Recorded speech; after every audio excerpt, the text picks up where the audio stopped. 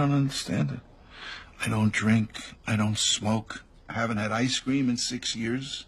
All I ever eat is fish and vegetables.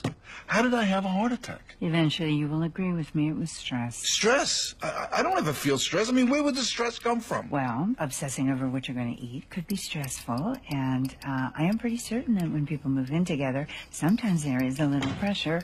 Rusty, dinner's still warm? Thanks, I'm not hungry. So, uh, did you get a chance to say anything to him yet about the straw report? No, no, no. At this point, it's just conjecture. You know what? Um, excuse me.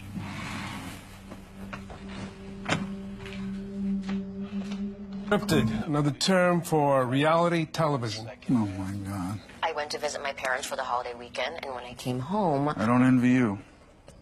Yeah. All right. Well, thanks, Mike. I'll see you tomorrow. That's Tao.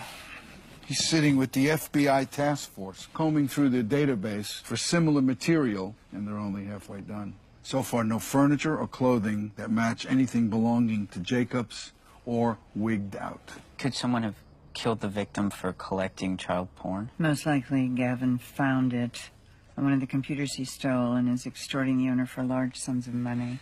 Just possessing that kind of trash, you could end your life in prison. Okay, well don't don't get me wrong. Those pictures and those videos they're beyond disgusting, obviously. But if the suspect didn't make them, No, no, no. It, it, it doesn't work that way. Trading in kiddie porn creates a market to abuse more children. And the problems don't end with molestation. Sexually assaulted children usually take years to process the experience, and then the trauma can be triggered again by situations that emotionally they feel as similar. emotionally similar. Some of these